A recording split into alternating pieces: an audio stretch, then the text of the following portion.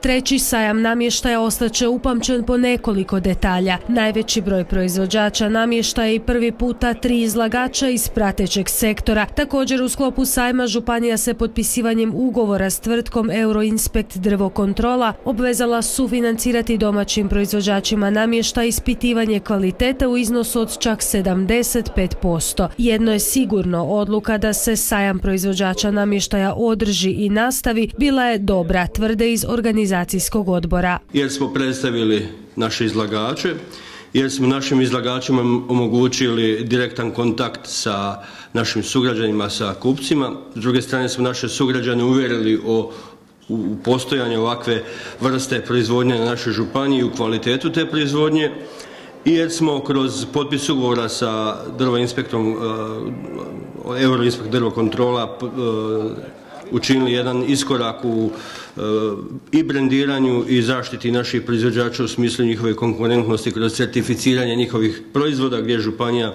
sa 75% sufinancira certificiranje u odnosu na kvalitetu njihovih proizvoda. Kod nas su oni opstali bez obzira na sve poteškoće koje oni prolaze kroz ovo teško poslovanje. Moram reći da neki od naših proizvođača opskrbljuju i velike lance ovaj, takve drvne industrije koje su ovdje došli e, i na neki način su se uklopili, naši su svoji interesi u takvim situacijama, makar smo se mi iskreno bojali i nismo baš sretni što nam dolaze neki veliki lanci, jer smo uvijek pokušali očuvati našu proizvodnju, jer to su uglavnom obiteljska proizvođača, obiteljska proizvodnja, tako da u stvari od jednog proizvođača imamo više struke efekte.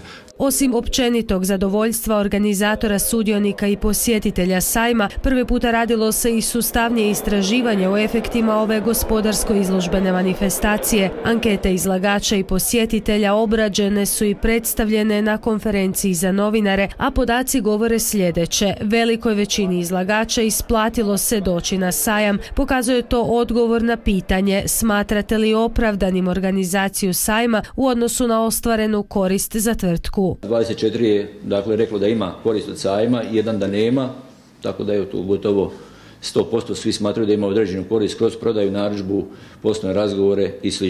Izlagači su ocjenjivali tehničku organizaciju od strane organizatora i suorganizatora. Potpuno je uglavnom zadovoljno 80% izlagača, dakle njih 20, e, znači tiče te suradnje sa organizatorom i suorganizatorom i djelomično zadovoljno 20, evo nijedan nije da je apsolutno bio nezadovoljan znači sa e, tom e, dakle organizacijom od strane organizatora i suorganizatora što smatramo da je evo dobar postupak, naravno svako doživljava iz svog aspekta. Također svi su rekli da će zbog sudjelovanja na sajmu ostvariti određenu poslovnu korist. Četiri izlagača na sajmu su prodali svoje proizvode, njih osam zaprimilo je konkretnu narudžbu, a poslovne razgovore očekuje njih 12. Na kraju organizacija ovog sajma školskom terminologijom gledano ovako je ocijenjena. Evo dobili smo 8 petica, 14 četvorki, 3 trojke, Evo, dva, dvojku jedinicu nije dao ni jedan izlagač. Ovoga, smatram da je to u redu. Kad smo to isponderirali, evo, dobili smo nekakvu prosječnu ocjenu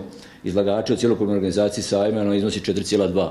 Znači, jaka četvorka, Jakoj četvorki od izlagača treba dodati i 4,5 od posjetitelja jer ih je većina, čak 54% anketiranih, dalo peticu za cjelokupnu organizaciju sajma. Ja smatram zajedno s mojim suradnicima da je sajam opravdao svoju svrhu i da ćemo i sljedeće godine naravno organizirati ovakav jedan sajam. A sve one primjedbe izlagača i posjetitelja organizatorima će poslužiti za poboljšanja kod organizacije budućeg sajma.